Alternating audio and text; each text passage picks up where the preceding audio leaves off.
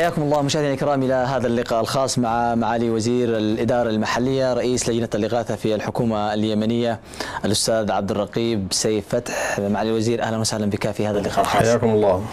معالي الوزير إذا بدأنا من الأرقام الأخيرة التي ظهرت بالنسبة لما يدور في اليمن من وضع كارثي كما تعلم أكثر من 20 مليون يمني بحاجة إلى ماسه للغذاء والدواء أكثر من 7 مليون يمني مهددين بالجوع وفقا للتقارير التي رفعتها الأمم المتحدة.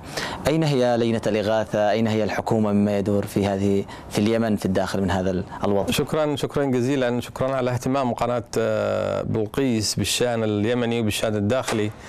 من المتابعين لهذه القناة. في البداية هناك كارثة. في اليمن كارثة يتسبب تتسبب بها المخلوع حلفاء الحوثيين بشأن حرب ظالمة كما يقال دمرت الأخضر واليابس. من المؤكد تعدادنا أخي العزيز 26 مليون. اليوم كل إحصائيات الأمم المتحدة تقول أنه 21 مليون بحاجة إلى رعاية غذائية متكاملة وفقا للمعايير الدولية. هذا من 21 مليون يمثلوا كل الشعب اليمني الآن. لو تتذكر تعدادنا 26 مليون كما أوضحت 5 مليون ما يقارب موجودين في دول الجوار وفي الشتات. ال 21 الموجودين في كل محافظات الجمهورية من صعدة إلى المهرة هم الآن وفقا لمعايير دولية وليس لمعايير الحكومة الشرعية حتى لا يقال بأننا نبالغ في هذا الأمر. نعم. 21 مليون بحاجة إلى رعاية متكاملة في الجوانب المختلفة. 14 مليون 700 بحاجة إلى رعاية صحية. ما يقارب 7000 مريض معنا في موضوع أمراض الكلى.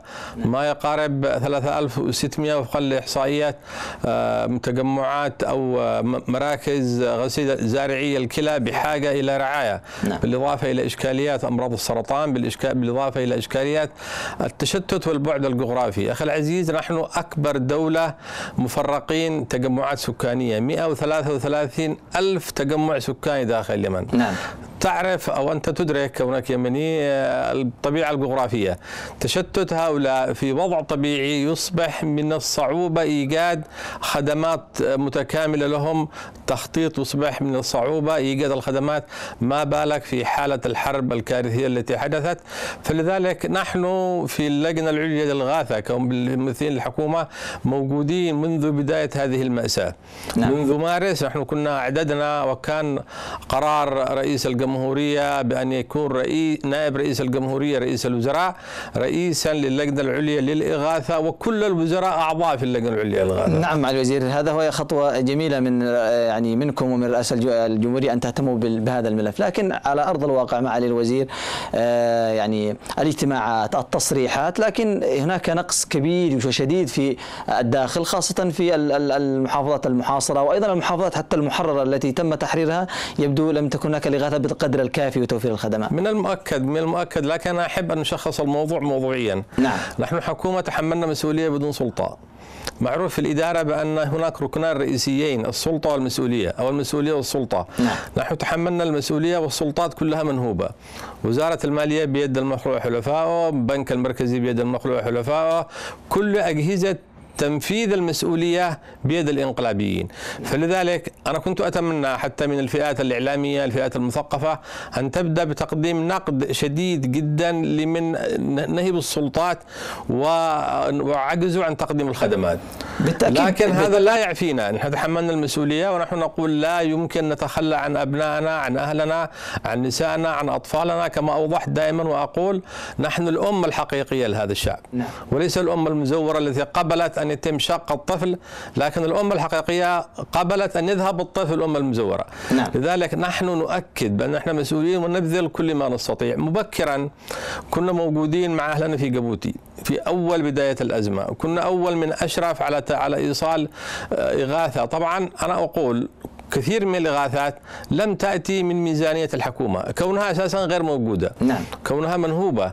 كل ما عملنا نحن في اللجنة العليا للإغاثة أنه نادينا أشقائنا أهلنا الأمم المتحدة لكي تذهب لتغيث هذا الشعب الذي تعرض لكارثة حاكم. مدى استجابة الأمم المتحدة معالي الوزير؟ الملاحظ بأن الأمم المتحدة في كل البلدان اللي فيها كوارث حاضرة وبقوة ولها يعني مشاريع ملموسة ويعني المعونة الغذائية الإغاثية تصل بشكل كبير جدا. لكن في اليمن يفتقر اليمنيين بشكل كبير ضياع وغياب يعني شبه كامل. لمنظمات الإنسانية وأيضا الأمم المتحدة لدور فاعل حقيقي يلمس المواطن اليمني. ما السبب؟ هناك قصور. أنا أؤكد وأنا وضحتها في كثير من المقابلات. هناك قصور لأداء الأمم المتحدة وفقا لمهامها المحددة باتفاقية جنيف الرابعة نعم.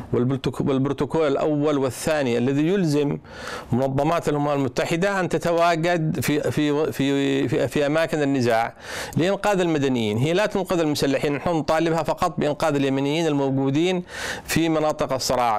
البروتوكول الثاني والبروتوكول الثالث من اتفاق من الاتفاقية الرابعة لجنيف تحدد أو تلزم الأمم المتحدة بشيئين.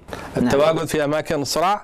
الثاني الإيضاح لأي جهة تمنعها عن أداء واجباتها، أنا أؤكد بأن هناك قصور في أداء منظمات الأمم المتحدة ناتج لعدة اعتبارات، حتى لا يقال بأنني أتهم منظمات الأمم المتحدة دائما نعم. في اعتبارات أمنية يتسبب بها المخلوع حلفاء الحوثيين كون مكاتب الأمم المتحدة موجودة كلها في صنعاء.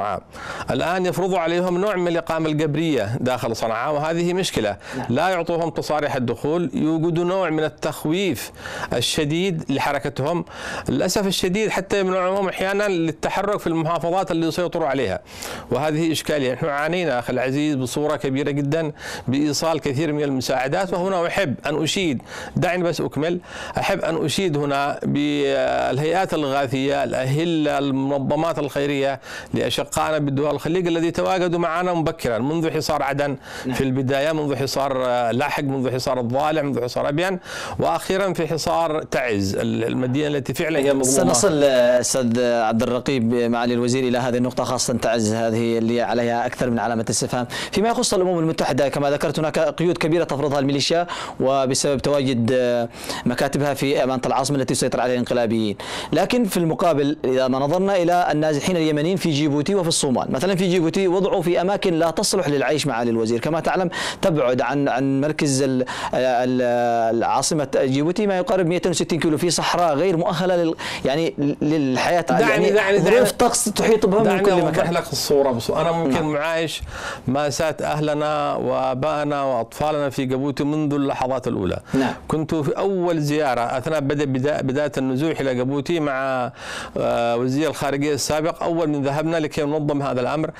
نحن لا نستطيع أن نجبر أو نلزم أي دو أي دولة مستضيفة لكي تحدد لنا أماكن تواجد الناس فيها. هذا أمر ولا أمر سيادي. نعم. لكن أقول آه، أنا زرت مخيم ابوخ اللي يبعد اللي تحدثت عنه 265 كيلو عن العاصمة جيبوتي. اليوم الوضع تغير في ابوخ آخر زيارة لي كانت من شهر. نعم. اليوم هناك مخيم فيه قدر من الرعاية في قدر من ال- الأماكن الجيدة في قدر من المتطلبات الحياتية اليوم هناك آه، مركز الملك سلمان يلعب بصورة رئيسية ب- سيبني 300 وحدة سكنية في هذا المخيم هذه الوحدات السكنية مجهزة وأنا أخاف أن النازحين يرفضوا العودة إلى من بعد دخولهم هذا الأمر لا أحد يرفض اسمح لي نعم. اسمح لي أقول لك نعم. شيء نعم. من المؤكد أي إنسان يخرج من داره هو كما يقال يقل مقداره نعم. وأي إنسان يخرج نازح مهما وفرت له متطلبات الحياة سيظل هناك نقص لأنه خرج من وطنه خرج من أهله خرج من من أسرته. من المؤكد هناك قصور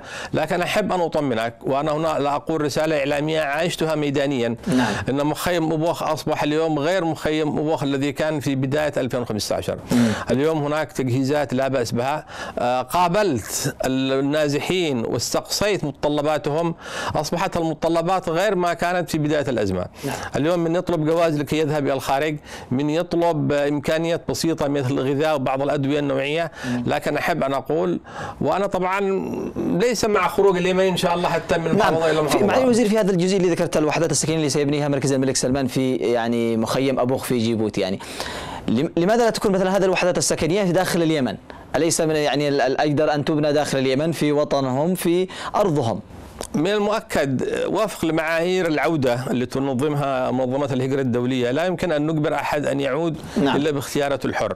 تدرك أن المحاف... ممكن المحافظة المؤهلة هي محافظة عدن لا زال فيها قلاقل أمنية. المواطن نحن عملنا استبيان وقلنا من يريد أن يعود مستعدين أن نتحمل نحن كحكومة عودته. وبادرت الحكومة القطرية ممثلة بالسفير القطري في جيبوتي مشكورا بأن يتحمل كل نفقات العودة. يعني الأخبار التي تحدثت معالي الوزير بأن هناك يعني من من اللاجئين في جيبوتي يريدون العودة ولم يحصلوا وسائل نقلهم؟ يعطينا فرصة لك نوضح المعلومة. نعم. نحن عملنا إعلان في السفارة أنا كنت مشرف على هذا الأمر. نعم. عملت إعلان في السفارة ألزمنا السفارة بأن ترسل مندوب إلى مخيم أبوخ لكي يقول أي مواطن يريد العودة بحيث يتحمل مسؤولية عودته إشكالية هي رئيسية أساسا. فلذلك كل من وافقوا على العودة في بداية المرحلة كانوا عبارة عن 170 أسرة. وفرت الحكومة القطرية مشكورة من خلال سفيرها في قطر كل وسائل العودة بالإضافة إلى أن 75 أسرة أرادت أن تنقل نفسها بنفسها من خلال آه، ممكن أهلها معهم بعض القوارب بالذات منطقة ذباب أو منطقة المخاف. فلذلك أنا أقول ستظل مشكلة النازحين إشكالية يعني ما حد ينكرها. لكن الأمر الآن بهذا الظرف أعتقد أنه مخيم أبوخ أفضل ما كان في بداية 2015 وأنا اطمنك هذا الأمر وأوجه من خلالكم كل الشكر والتقدير لمؤسسة رحمة للمفوضية السامية لشؤون اللاجئين نعم. للجهود اللي تبذل هذا على ما يتع... هذا ما يرتبط بجيبوتي نعم. لكن بالصومال أنا كنت من الذاهبين إلى الصومال في الشهر اللي فات لكن الإشكالية الرئيسية معظم الناجحين موجودين في في هرقيسه موجودين في مقديشو موجودين في بعض المحافظات جزء من الصومال غير معترف به. رسميا نعم. لا نستطيع أن نزور هرقيسة بحكم الجانب الرسمي نعم. مقديشو فيها إشكالية أمنية الآن في منطقة خضراء داخل مقديشو لا يتواجد فيها السلك الدبلوماسي أو الزائرين إلا في هذه المنطقة نعم. أنا لا أحب أن أذهب وأكون في فندق أنا كنت أحب أن أذهب لكي نوزع مواد إغاثية لكي نشوف أهلنا الموجودين في المخيم في المخيم يعني لم تستطيعوا التنسيق معهم اسمح مع... لي دعنا أكمل لو سمحت نعم. نحن التقينا بالمفوضية السامية لشؤون اللاجئين المركز الملك سلمان أطلقنا نداء لإغاثة أهلنا وأخواننا في مقديشو وفي كل محافظات الصومال الشقيق. آه، لبى مركز الملك سلمان هذا النداء وألزم مفوضية السامية لشؤون اللاجئين بالتعامل مع المشكلة. اليوم هناك آه، مواد إغاثية وصلت إلى كثير من الأهل. نادينا من خلال مكتبنا في اللجنة العليا لمحافظة عدن بلقاءات عاجلة وعقدنا مجموعة من اللقاءات ووفرنا ما يقارب 4000 سلة غذائية. هي في طريقها إن شاء الله إلى أخواننا في بعض محافظات آه، مقديشو لكن أقول ستظل المعاناة موجودة ما زام ما دام هناك حرب وهناك نزوح. وستظل المهام عليكم معالي الوزير أكبر من أي يعني خدمة ما قبلنا أن نتحملها بإذن الله سنوفي بها نعم. مع الوزير إذا إذا عدنا إلى آه، الوضع في الداخل. كما تعلم أنت في إحدى المقابلات أعلنت عن آه، تحالف يضم مركز الملك سلمان يضم جمعية الشيخ خليفة بن زايد الهلال الأحمر الإماراتي جمعية قطر العديد من الجمعيات يعني تحدثتم بأنكم ستقومون بهذا التحالف من أجل تنفيذ يعني الإغاثة في اليمن بشكل مرتب وقوي هذا التحالف منذ إعلانكم حتى اللحظة لم لم لم نسمع ما الذي قدمتموه في الداخل. لا نحن ممكن لم نقم بحملة إعلامية لقيام المسمى والاسم الصحيح مكتب تنسيق المساعدات الإنسانية للشعب اليمني المقدمة من دول الخليج. هذا المكتب أعلن آه، في آه، أعتقد منذ ثلاثة أشهر. نحن الآن اجتمعنا ثلاث اجتماعات. أطلقنا خطة إغاثة باسم مجلس التعاون الخليجي للشعب اليمني. هذه الخطة مكونها الرئيسي ما يقارب مليار و800 مليون دولار. بدأنا الآن بالإجراءات التنفيذية. تدرك أنه على على من أجل أن توحد بعض الجهود لبعض المنظمات الاغاثيه سواء كان الأهلة والجمعيات الخيريه ببوتقة واحدة نعم. من المهمية كل واحد يحب أن يشتغل بصورة مستقلة لكن أنا أقول لقينا تعاون كبير من أشقائنا في الهله الهلال الأحمر الإماراتي السعودي كل الأهلة بالإضافة إلى جمعية الجمعية جمعية الجمعية العليا للغاثه الكويتية اليوم آخر لقاء كان في هذا الشهر يوم 11 اتفقنا على آليات معينة. هناك الآن ما يقارب رصد من قبل مركز الملك سلمان 26 مليون دولار وهذا إعلان لأول مرة نقوله عبر قناة بلقيس. 26 مليون دولار للوضع الصحي 15 مليون للتجهيزات. موجهة جزء منها لمحافظة تعز والبيضاء ولحق وعفوا ولحق وعدن ومارب والجوف. 11 مليون مرصودة لمعالجة الجرحى. أيضا الهلال الأحمر الإماراتي التزم بمعالجة موضوع الطاقة على مستوى وضع دراسه على مستوى الجمهورية ومعالجة العاجلة نعم. لموضوع الطاقة في في محافظة عدن. إشكالية كبيرة أيضا موجودة فيما يتعلق بمحافظة البيضاء وهي المحافظة المنسية. نعم. أنا أسميها دائما وأعترف باننا ننساها برغم أنه أول من قاومت بعد دماغ. ممكن كانت البيضاء. لماذا معالي الوزير البيضاء؟ ليست في حسابات ولا في أولويات الحكومة ولا الإغاثة حتى. هي إشكالية البيضاء منذ البداية لم يكن فيها مؤسسات حكومية فاعلة. إحنا مشكلتنا في اليمن. نعم. أنه أجهزة الحكومة لم تكن تعمل بصورة فاعلة في معظم المحافظات اللي وضعها طبيعي. نعم. ما بالك في المحافظات اللي وضعها الجغرافي صعب؟ مشكلة البيضاء أيضا منظمة المجتمع المدني آه، لا توجد فيها بصورة فاعلة. مشكلة البيضاء هناك تواجد مسلح كبير للمعسكرات كونها كان من المناطق الحدودية. فهذه كلها كانت معيقات. اليوم أنا التقيت بالمحافظ أكثر من مرة. بدأنا بتشكيل ائتلاف غاثي لأبناء البيضاء. بدأنا بإيجاد آه، من خلال برنامج الغذاء العالمي. نحن أخي العزيز نحاول بصورة مباشرة أن ننفذ أعمال ومن خلال شركائنا في الأمم المتحدة وهنا أحب أن أوجه لهم الشكر. نعم. نحن عندما ننقد منظمة الأمم المتحدة لا ننقدها بموجد موقف محدد لكن نحن نقول كما أوضحت في بداية مقابلتك أن الإشكالية الإنسانية في اليمن كبيرة. هناك محافظات محاصرة وسنتحدث عنها إن شاء الله بالتفصيل. وهناك قصور. نعم. الأمم المتحدة أنا أقول بصورة واضحة لم تقم بمهامها وفقا لما تم في أفغانستان. لم تستخدم كل طاقاتها رغم أنه خادم الحرمين الشريفين في مارس في بداية الأزمة خصص 274 مليون دولار لهذه المنظمات أين أقول- ذهبت هذه الأموال أنا؟ أقول من خلالكم لحد الآن لم يتم الاستفادة منها هي موجودة في مركز آه، عدم آه، إيصال هذه المعونات لمن؟ ال- المبلغ هذا رصد وأعطي مركز الملك سلمان لكي يقوم بالإشراف والإدارة عليه، مركز الملك سلمان وقع عقود ل 66 مشروع مع هذه المنظمات، للأسف الشديد لحد الآن لم يتم الاستفادة من هذا المبلغ رغم وجوده جاهز إلا بحدود 30%. نعم مع الوزير في هذه النقطة وهذه الجزئية بالتحديدا يعني ال- الكثير يتحدث بأن للأسف اللجنة وأيضا ال- ال- الحكومة غير قادرين على استيعاب هذه المنح ال- ال- الإغاثية. بمعنى ال- الكثير مثلا المركز الملك سلمان كما ذكرت هذا الرقم ال- الكبير الآن 205 260 تقريبا مليون دولار وغيرها من المنظمات الإغاثية التي تعمل في اليمن. حججهم بأن الحكومة بأن اللجنة لم ترفع لهم كشوفات. وخطابات رسمية ت- يعني ترشد الآلية التي يتم عن طريقها إيصالها إلى الداخل لا أعتقد أسهل حاجة إنه نوجه خطابات. أنا أعتقد هذه من الأشياء البسيطة جدا وأعتقد أخي العزيز عشان نفهم مهام اللجنه العليا للاغاثه. نعم. نحن اولا أحب أن اوضح للمواطن وكل من يحاول أن يتهم من حقه أن يتهم أحيانا نعم. لكن يجب أن يفهم مهام اللجنه العليا للاغاثه. أنا أعلن وعلى مسؤوليتي بأن اللجنه العليا ليست لديها مخازن تستلم بها اغاثات. اللجنه العليا ليست لديها حسابات تستلم بها مبالغ. كل ما نعمله نحن نقدم بيانات نكتب الخطابات هذا اللي تحدثت عنها ونقول للجهات الغاثية اذهبوا أنتم نفذوا بآليتكم نحن دورنا متابعة وتقييم لا نستلم لا نخزن مطلقا.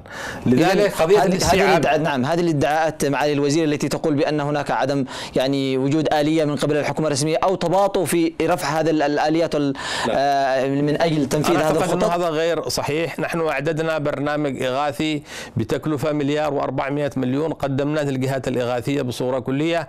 لدينا الآن ممكن نحن في حالة اجتماعات مستمرة نعم. سواء على مستوى الرياض أو على مستوى عدن.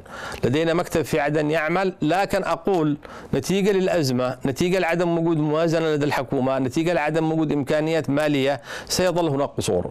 نعم. أنا أعترف وأقول بأنه مهما قدمنا سيظل هو كما أوضح دائما أنها جهد المقل لأن الكارثة كبيرة أخي العزيز. نعم. مركزكم اللي فتحتوه في عدن معالي الوزير يعني ما هي الخدمات التي قدمتموها؟ ما هي المعونات التي بدأتم يعني آه، توزعونها عن طريقكم في عدن؟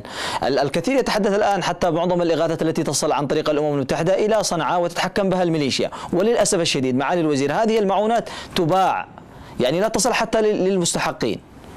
دعنا أحكي لك وقائع عملية. حول موضوع البيع بالذات، أنا ممكن أكون في فساد بالذات في المحافظات التي فيها سيطرة كاملة من قوى القوى الإنقلابية، أخي العزيز 28 باخرة دخلت وأنا أستغرب من الإعلام لو ركز على هذا الأمر، 28 با- باخرة دخلت من قبل منظمة الأمم المتحدة إلى ميناء الحديدة، كنت أتمنى أن تذهب إلى عمران وإلى صعدة لكن للأسف الشديد ذهبت مجهود حربي للميليشيا المسلحة. نعم. قضية البيع أنا أقول أحيانا بالذات 2015 2015 حدث فيها قدر كبير من العشوائية في موضوع الاغاثه المواطن أحيانا يتم التوزيع له أكثر من مرة بالذات في المقابل الناس ما يصل لهمش اي في بعض نعم. المقابل لذلك أنا أعلنت ممكن بأكثر من مقابلة بأن 2016 سيكون إن شاء الله عام الإغاثة المبنية على بيانات معلومات نعم. لذلك مكتبنا في عدن بدأ الآن بتنفيذ هذه المهمة من خلال توزيع استمارات على كل المحافظات نعم. نحن وزعنا على 22 محافظة وقلنا مطلوب احتياجاتكم لمدة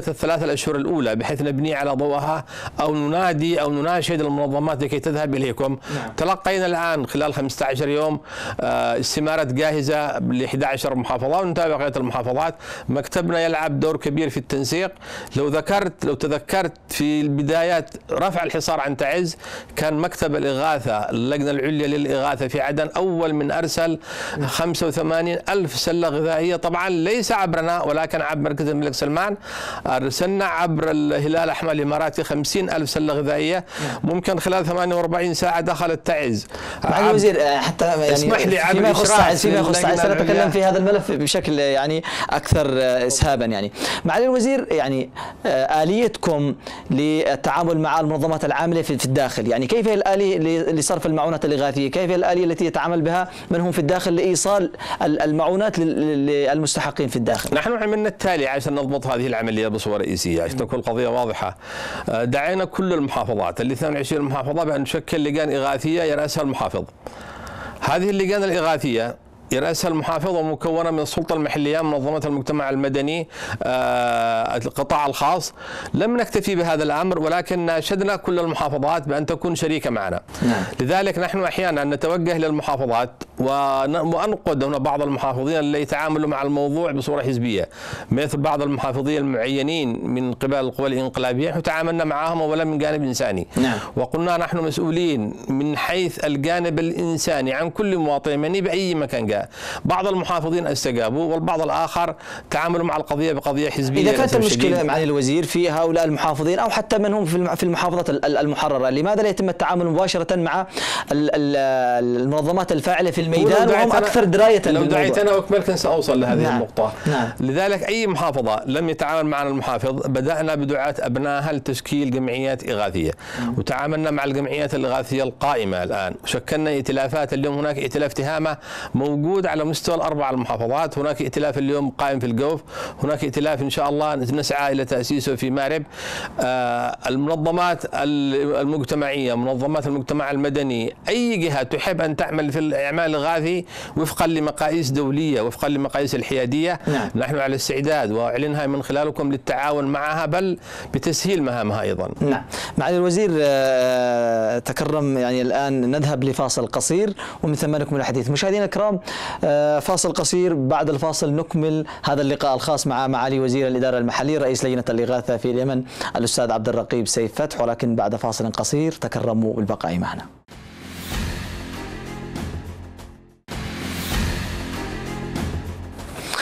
حياكم الله مشاهدينا الكرام من جديد في هذا اللقاء الخاص مع معالي وزير الإدارة المحلية رئيس لجنة الإغاثة الأستاذ عبد الرقيب سيف فتح أستاذ عدنا لك من جديد إذا انتقلنا إلى النقطة الأخرى كنا نتحدث قبل الفاصل حول الآلية التي تستخدمونها ويعني الشراكة مع من هم فاعلين في الميدان سواء المنظمات العاملة اغاثيا أو التي تعمل في الجانب الصحي أو أو ما شابه ذلك. معالي الوزير في إذا بدأنا في ملف تعز هذا الملف الشائك وأكثر من علامة استفهام على محافظة محافظة تعز آه، هناك حصار خانق من قبل ميليشيا الحوثي. آه، هناك احتياج كبير للمواد الطبية الإغاثية لهذه المدينة. لماذا تعز تعاني كل هذا المعاناة؟ ونجد آه، لا نسميه عدم اهتمام ولكن هناك تقصير كبير من قبل لجنة الإغاثة والحكومة لما يدور في تعز. أنا أشكرك على اهتمامك بتعز، تعز تدفع ثمن رسالتها للأسف الشديد يعني من قبل المخلوع حلفاء الحوثيين، تعز كما تدرك خرجت في 2011 وصنعت ثورة. اليوم تحارب من أجل أن تصنع دولة. نعم. إشكالية تعز إشكالية سكانية 4 مليون 200 ألف موجودين على حدود 400 ألف آه، مساحة سكانية. كل 400 موجودين في ألف في كل كل مربع. إشكالية كبيرة نحن بالنسبة نعاني منها كإشكال كلجنة عليا للإغاثة. بالإضافة إلى أن هناك حصار منظم على محافظة تعز.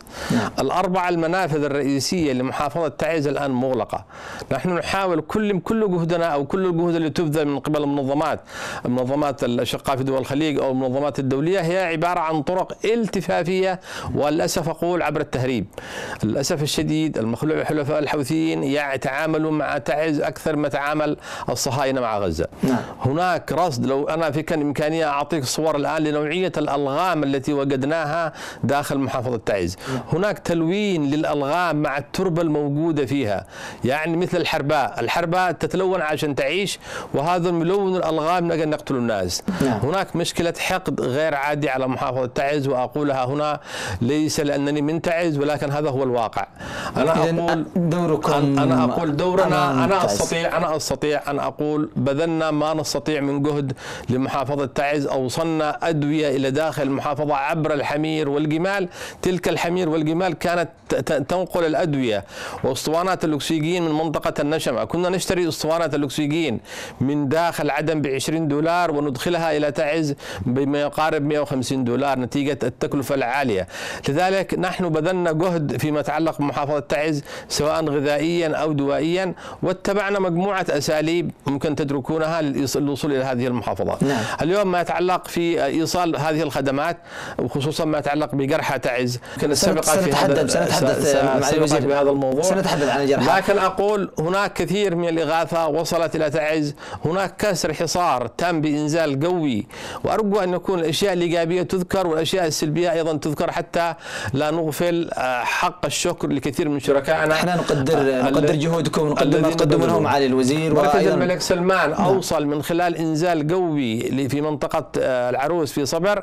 كمية أدوية أعتقد عملت على تغطية القدر الكبير من احتياجات المستشفيات في تعز. بالإضافة إلى جمعية السبل الخيرية وهنا أقدم كل الشكر والتقدير للشيخ عبد العزيز بن قاسم الذي لعب دور كبير في إيصال كثير من الاغاثه لجمعيه قطر الخيرية الهلال الاحمر الإماراتي الهلال الاحمر القطري لكل من بادر وساهم بإنقاذ محافظة تعز رغم نعم. المأساة. نعم، معالي الوزير عندما تم فك الحصار عن تعز وكان الخط مفتوح واستمر لما يقارب أكثر من 12 إلى 13 يوم آه هذا المدة الزمنية لماذا لم تستغلوها في ذلك الوقت لتدخيل لإدخال الكثير من المعونات الغاثية؟ لا أخي بشير أنا مؤكد انت من المتابعين بصورة جيدة لهذا الأمر يعني نعم. نحن عملنا غرفة عمليات خلال هذه العشر الأيام ولو انها ما الأيام هي ما يقارب أربع أيام فعلية. بعدها بدأت المعارك لإعادة الحصار. نعم. نحن شكلنا غرفة عمليات في الرياض غرفة عمليات في صنعاء وبدأنا بتحريك قوافل سميناها قوافل النصر. نعم. هذه القوافل لأول مرة آه، انطلقت من داخل عدن ووصلت إلى المظفر ووصلت إلى مديريه القاهرة المحاصرة. 100 120 ألف سلة. الدفعة الأولى كانت 85 ألف كما أوضحت. والدفعة الثانية كانت 40 ألف مركز الملك سلمان بادر وأرسل 100 ألف بعدها. الهلال الأحمر الإماراتي قام بشراء من داخل مدينة تعز خمسين ألف سلة غذائية. جمعية قطر الخيرية أرسلت عدد من الهلال الأحمر القطري. نعم. أرسل تجهيزات وأدوية. الجمعية العليا للإغاثة الكويتية أرسلت عدة قوافل. نعم. أنا أعتقد أنا أعتقد وأقولها وعلى مسؤوليتي وأنا مطمئن ضميري أنه بخلال أنا أعتبرها 72 ساعة كانت العملية. نعم. قدرنا أن ندخل محافظة تعز كميات كبيرة جدا من الأدوية وهنا أيضا منظمة الصحة العالمية. بعد فك الحصار مباشرة تم إدخال 50 طن أدوية نوعية للمستشفيات. أعتقد لو أتيحت لنا الفرصة بوقت إضافي كنا قدرنا أن نغطي احتياجات الثلاث المديريات الرئيسية اللي هي فعلا كانت تعاني نعم. بصورة كبيرة في الوقت الحالي معالي الوزير الكثير يتحدث منهم عاملين في الميدان في اللجنات في اللجان الإغاثية والعاملين في هذا الحقل يقولون بأنهم مستعدون إذا ما توفرت أي معونات غذائية بإدخالها ولو بطرق يعني صعبة سيدخلونها إلى إلى إلى إلى محافظة تعز. اذا آه، لماذا لا توفر لهم وهم يتكفلون بنقلها؟ لا هو الآن كيف تعيش الآن؟ كيف تعيش لو لولا هذه الجهود جهود لكان الآن الموت والأمراض موجودة في كل شارع تعز. هي جهود مضنية جهود فيها صعوبة جدا تبذل.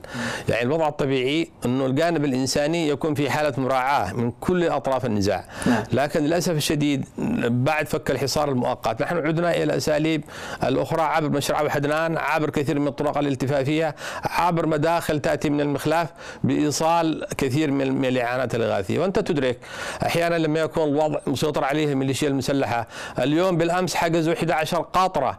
قائد أدوية غسيل كلى قادمة من الحديدة. حجزها المسلحين في في بير باشا. أيضا في حجز لكثير من المواد الإغاثية لا زالت هناك 250 قاطرة محجوزة وقد تم التصرف بها تم إرسالها من قبل برنامج الغذاء العالمي عبر منفذ الحوبان. نعم. فلذلك الجهد لا زال مستمر بالذات لتعز والبيضاء. البيضاء ندخل لها عبر يافع. أنت ممكن أنا ممكن بحكم إنه وزير إدارة محلية أعرف بعض المداخل. صحيح. نصل إليها عبر يافع نصل إليها عبر كثير من الوسائل التهريبية وللأسف الشديد عبر مأرب. لكن هذه الجهود كما أوضحت مرارا بتظل جهود المقل. نعم. معالي الوزير ال- الميليشيا تستخدم كل الأساليب لمنع دخول أي معونات. إغاثية إذا موقف المجتمع الدولي الأمم المتحدة منظمات حقوق الإنسان في العالم آه، أمام هذه التصرفات من قبل الميليشيا. لماذا لا تمارس أي ضغوطات على الأقل بإدخال المعونات الإغاثية للناس التي تموت؟ هذا هو الأمر الأخلاقي اللي أنا دائما أن أنقده وأنا أحب أن أوجه من خلال قناة بلقيس نداء إنساني لمنظمات الأمم المتحدة بأن تتعامل بإيجابية بإدانة واضحة ببيانات واضحة لكل من يعيق حتى لو كانت الحكومة الشرعية. أنا أقول الحياد بهذا الأمر أمر مسيء. مارثن لوثر كينغ قال هناك مساحة في جهنم. مح- محددة لمن يقف مواقف حيادية أثناء مواقف المواقف الإخلاقية. نعم. يجب أن يكون هناك إدانة واضحة لمن يعيق إيصال الدواء. لمن يعيق الآن حياة إنسان لا يستطيع أن يحصل على غسيل الكلى ممكن يتعرض للموت. أطفال لم يحصلوا على أكسجين في تعز ماتوا. لذلك أنا أطالب من خلالكم أن يكون هناك إدانة واضحة. إذا كنا نحن في اللجنة الإغاثية الممثلة للحكومة الشرعية ولدينا تعليمات. من الرئيس عبد الرب منصور هادي بأن نبذل كل الجهد وأن نتواصل مع جميع الجهات لكن للأسف الشديد أنا أقول ومن خلالك هناك قصور لتحديد المسؤول عن إعاقات الإغاثة الإنسانية ربطنا هذا الموضوع- وما يحدث الآن في الكويت. نعم. اي ما يحدث في لو ربطنا ما يحدث الآن في الكويت هل هناك يعني ال- اللجنه المفوضه يعني أي ضغوطات تمارس على ميليشيا الحوثي بالسماح للمعونات الغاثية في الدخول؟ أنا أحب أن أؤكد لو لم يعمل مشاورات الكويت أي عمل يكفي أنهم فضحوا أن هذه الميليشيا والمخلوع علي عبد الله صالح لا يمتلكون قدرا من الإنسانية نعم. كان يفترض مع بداية المشاورات أن يكون هناك قدر من الاستشعار من المسؤولية المجتمعية من هذه الميليشيات وأن تتيح الفرصة بدون شروط وبدون أيضا ضغوطات لأن تبدأ قوافل الإغاثة نعم. تتحرك المحافظات المحاصرة بأن تذهب الإغاثة إلى صعدة صعدة اليوم تعاني من حرمان عمران تعاني من حمران من من من حرمان لذلك إتاحة الفرصة كان يفترض أول البشائر الإيجابية التي يؤكد تؤكد الميليشيا الإنقلابية أنهم يمتلكون قدرا من الإنسانية لكن للأسف الشديد مشاورة الكويت حتى هذه القيمة الإنسانية فضحوا فيها. نعم. معالي الوزير آه، يعني حتى نغلق هذا الملف في في- فيما يخص ال- المعونات الإغاثية والأدوية وال- آه، والمواد الطبية. كما تعلم الحديدة هناك معاناة كبيرة جدا في محافظة الحديدة. هناك ال- الأمراض الأوبئة تنتشر بشكل كبير حمى الضنا كالمكرفس وغيرها من الأمراض التي تنتشر في هذه المحافظة وبعض المحافظات أيضا في بعض ال- الأماكن في محافظة حجة آه، يعني ما الذي ستقدمون لهؤلاء الناس؟ للأسف الشديد محافظة حقة محافظة الحديدة بالذات تقع تحت سيطرة الميليشيا الانقلابية وكان يفترض أن يستشعروا مسؤوليتهم. يا أخي حتى قوى الاحتلال وفقا لمعايير دولية هي المسؤولة عن حياة الناس. محافظة الحديدة فيها ميناء وفيها مطار ولو أن المطار لا يعمل لكن هذه الميناء الآن كل البواخر تصل عبرها. أنا أستغرب أن الناس لا توجه النقد لهذه الميليشيا التي تمنع أك أكبر المحافظات فقرا. اليوم في الحديدة هناك استغاثة حول حمى الضنك. يفترض انه محافظة الحديدة هي الممولة تجاريا حتى للميليشيا المسلحة. يعني تصل المعونات إلى هذه إلى هذه المحافظة ولا ولا الحديدة. محرومة منها. الحديدة محرومة منها. سنة الآن سنة كاملة والحديدة بدون كهرباء والمازوت موجود في الغاطس كما يقال. نعم. كل الكلفة هي 4 مليون 200 ألف دولار لكي نحل مشكلة الكهرباء في الحديدة. هناك تهديد معالي الوزير بإغلاق المستشفيات وعدم استقبال وهنا أي يجب. عليكم كإعلاميين أنتم على الجهة المسيطرة. أنا أقول وفق المعايير ال- العالمية. نعم. الجهة التي تتحكم في أي مساحة جغرافية هي المسؤولة عن اغاثه الناس. وليس حكومة موجودة لا تمتلك أي سلطات. لذلك هذه الميليشيا المسلحة تتحمل كامل المسؤولية التي تعاني منها محافظه الحديدة. نحن الآن تحملنا مسؤولية كما قلت في البداية وهناك برنامج متكامل سيقار ويوقع عليه من قبل الأخ وزير الصحة لمواجهة حمى الضنك مستشفى الثورة في الحديدة داخل ضمن خطتنا نعم للأسف معالي الوزير فيما يخص وزير الصحة وننتقل ب- ب- بالمناسبة ذكرت وزير الصحة ننتقل إلى ملف الجرحى وهو ملفنا الأخير في هذا الحوار. آه، ملف الجرحى آه، شائك وكبير جدا معالي الوزير. كما تعلم الآن ال- ال- الجرحى تعفنت جراحهم في تعز في البيضاء في محافظة الضالع في مريس في في العديد من جبهات القتال وللأسف الشديد لا حياة لمن تنادي. لماذا الجرحى يعاملون بهذه الطريقة الوزير لا حياة لمن تؤدي لمن؟ يعني لا نجد أي جهود كبيرة بالنسبة مثلا للحكومة أو حتى لجنة الإغاثة. لي بقول لك الحكومة. أنا سأوضح التالي ليس دفاعا عن اللجنة العليا للإغاثة أو الحكومة. منذ البداية نحن وضعنا خطة لعلاج الجرحى وأرسلت أول 265 جريح من محافظة عدن إلى الأردن تحملت الحكومة كامل التكاليف في المرحلة الأولى. الآن الكثير منهم يشكو معالي الوزير اسمح لي في الأردن من عدم استكمال. علاجهم. الشكوى تظل موجودة. أنا أحب أن يكون الموضوع آه، إثارة الشيء الإيجابي والنقد النقد متاح. الآن.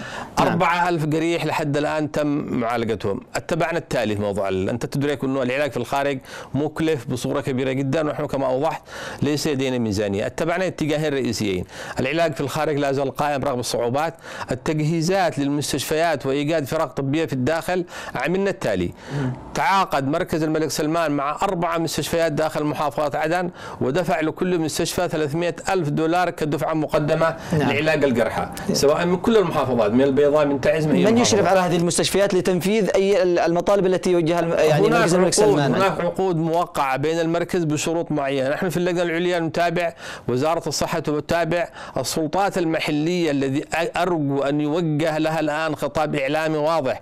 يجب أن تتحمل مسؤوليتها كونها موجودة في الميدان. مكاتب الصحة في المحافظات. اليوم سيتم التوقيع مع مستشفى البريهي في تعز. بالإضافة إلى مستشفى أعتقد الصفوة أو الروضة اللي تم التوقيع معه لكي نكون قريبين من من جرحانا الموجودين في تعز وأنا أؤكد أن من بذل دمه لا يستطيع لا نستطيع إلا أن نقدم له كل الخدمات. نعم. ونحس بالتقصير مهما كان. نعم. معالي الوزير يعني آه، فيما يخص الجرحى كما تعلم عد العديد من جرحى من أبناء محافظة تعز. بن عدن بعد أن يعني أصبحوا لا أحد يقدم له أي خدمات في مستشفيات هو- أس- أنا بصراحة وأنا أستغرب حتى هذه العودة رغم المعاناة السابقة اللي كانت موجودة. اول ما بدات الأمور تنفرج نعم. الأخوة قرروا العودة وهم الآن في مستشفى خليفة.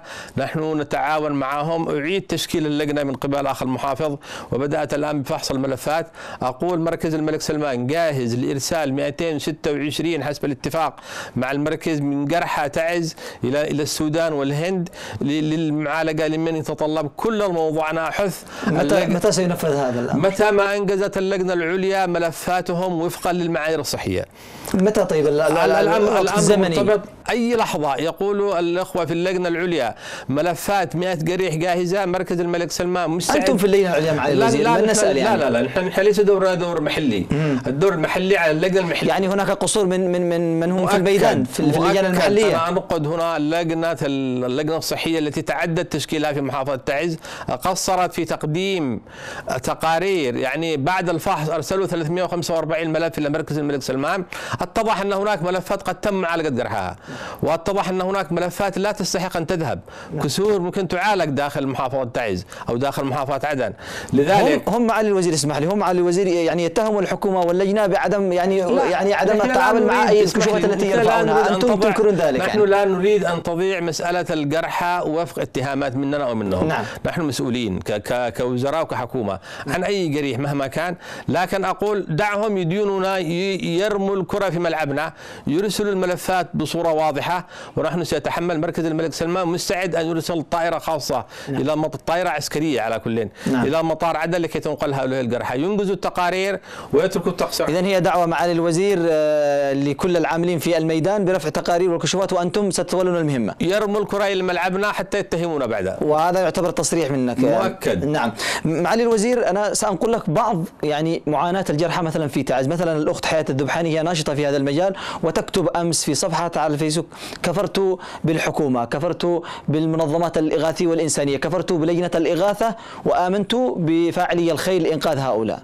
كيف تعلق على الموضوع؟ أنا أقول أنا مع حياة الذبحاني في كل ما تقول والموجود في الميدان هو يعاني مؤكد يعني. أنا أنا أقول أي جريح يئن ويتألم وفي ضغط من أسرته ومن أهله يكفي أنه قدم دمه فلذلك كل ما تقول أنا معها لكن برضه قضية الكفر هي محرمة أساسا. لا يجوز أن نكفر أو نيأس. عندما ترى لكن هو, هو, هو من حرقة ما ترى يعني. تعفنت جراحهم مع الوزير ولا, ولا حياة لمن في هذه المأساة في ظل ميليشيا مسلحة ليس لديها معايير إنسانية. على كل مكونات المجتمع المدني وأنا أحب أن أقدم كل الشك والتقدير للقطاع الخاص في محافظة تعز الذي أسهم ليس فقط أخي العزيز موضوع الجرحى نعم. في دور الآن لا يشكر فيه القطاع الخاص بتعز قدم في مجال الإغاثة في مجال إيصال المياه في مجال أسطوانات الأكسجين نعم. دور فاعل فلذلك ومن خلالكم أدعو من يستطيع أن يرسل أو يعالج أو يدفع قيمة علاج أو فاتورة علاج نعم. أن يبدأ الآن جاء دور الناس نعم معالي الوزير آه، جزئية مهمة جدا الكثير يتحدث قبل فترة سابقة بأن مركز الملك سلمان كان مستعد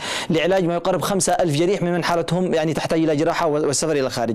آه، بالإضافة إلى هناك الأتراك أبدلوا استعداد يعني أبدوا استعداد كبير بأنهم سيستقبلون حالة من يعني لمعالجة حالات مرضية حرجة.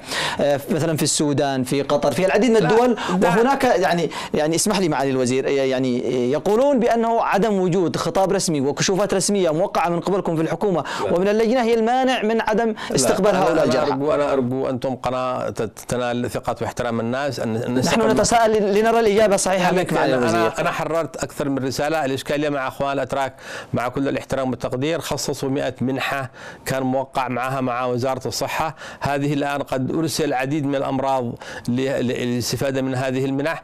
المستشفيات الميدانية طالبنا لكن لحد الآن هناك نوايا حسنة لكن موضوع تنفيذ وإقامة مستشفيات ميدانية فيها قدر كبير من الصعوبة.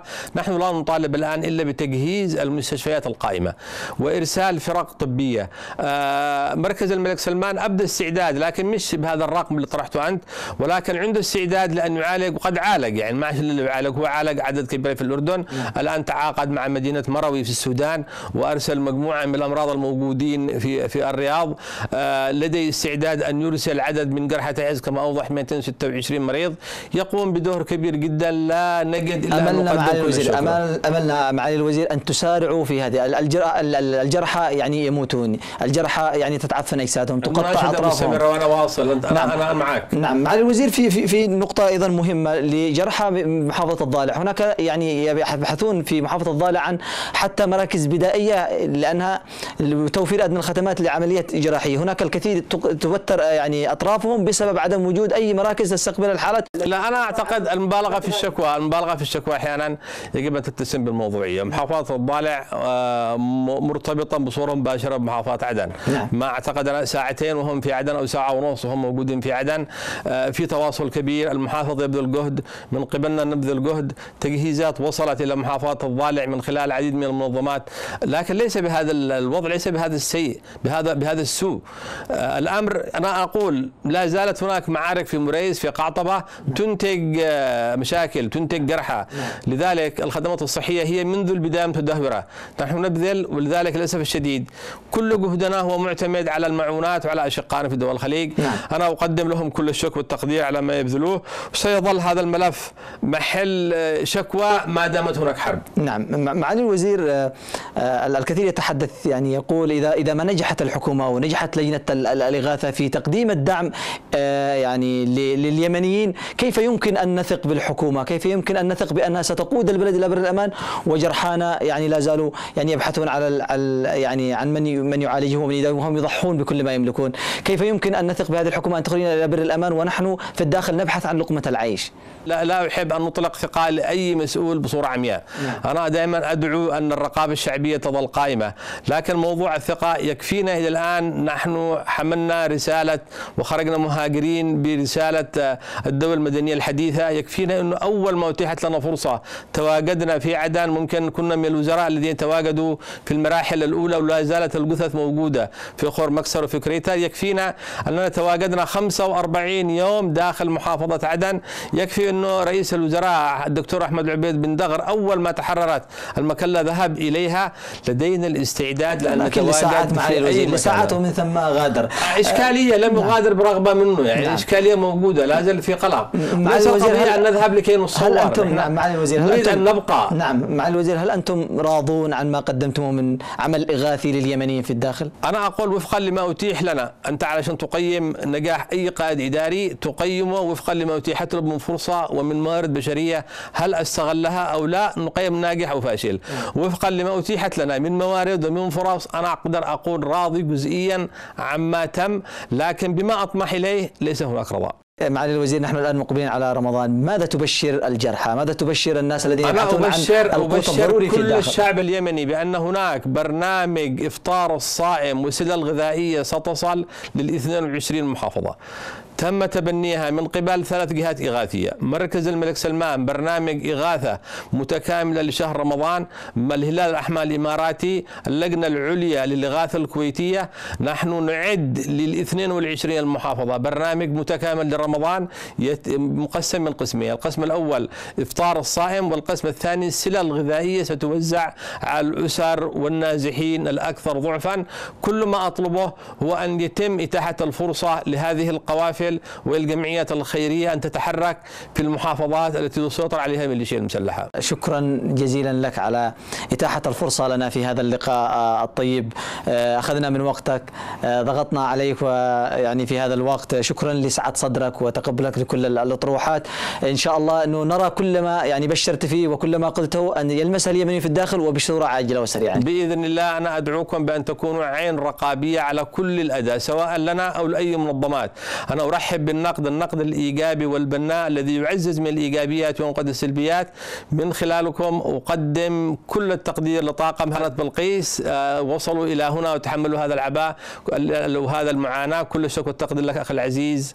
وإن شاء الله نلتقي في صنعاء قريبا بإذن الله. بإذن الله. شكرا جزيلا لك معالي وزير الإدارة المحلية الأستاذ عبد الرقيب سيف فتح رئيس لجنة الإغاثة على سعة صدرك وعلى آه، إكرامنا بهذا اللقاء الخاص الطيب.